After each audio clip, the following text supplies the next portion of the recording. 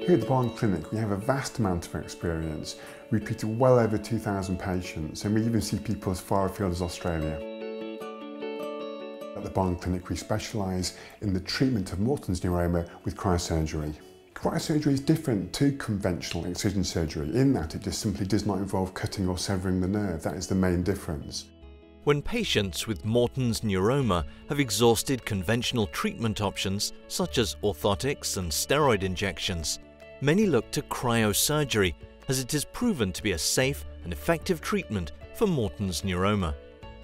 Morton's neuroma is a condition in the forefoot which is caused by the sheath tissue around the nerve becoming thick and inflamed. The inflamed tissue is the cause of the painful symptoms such as pins and needles, burning, aching, and a stone in the shoe sensation.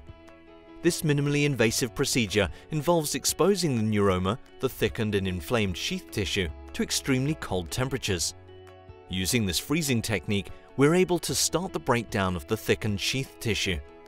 In the 14 weeks after your treatment, this tissue will break down and then begin to regenerate and grow back to a healthy normal thickness.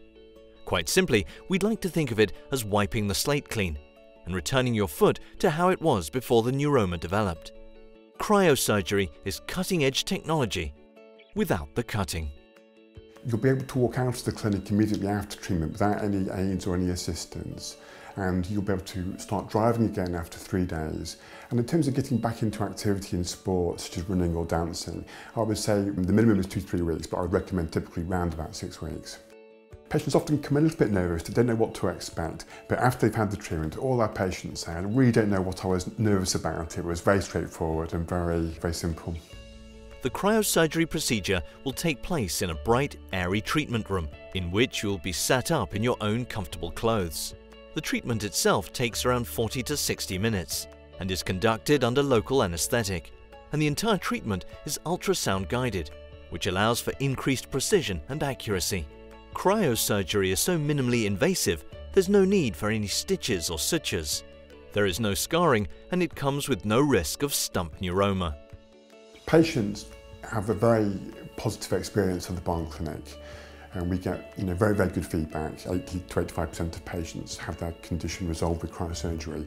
And 100% of patients said that they would recommend the Barn Clinic to their friends and family for the treatment of Morton's neuroma. So on the whole, patients have a good experience.